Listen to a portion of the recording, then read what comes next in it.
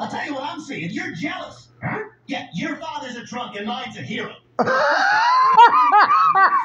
The man is an- ah, hell no. Evil of the chain.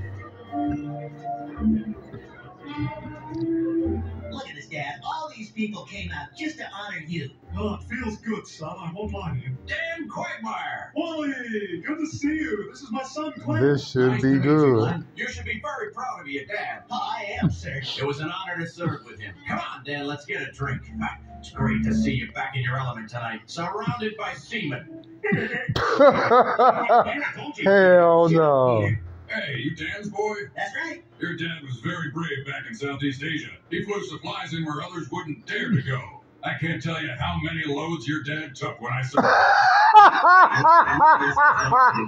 Everyone here honors your dad. You. Army barracks and make every private there feel important. Yeah, he just knew how to stroke those privates. Oh, God. Your dad is kind of cool, Glenn. Every day at rifle training, he'd help me clean my butt. Your dad was Your dad had the best penis in the military. Okay, good. Stop. Stop. Everybody stop.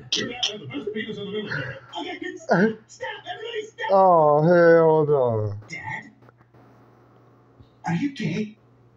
What? Are you gay, Dad? Oh, Glenn, I'm not gay. Just, just tell me the truth. I am telling you the truth. Now calm down. You're ruining this ball. You know how much I love balls. All right. ah! Not gay. You promise? I promise. All right. I believe you. But I am a woman trapped in a man's body.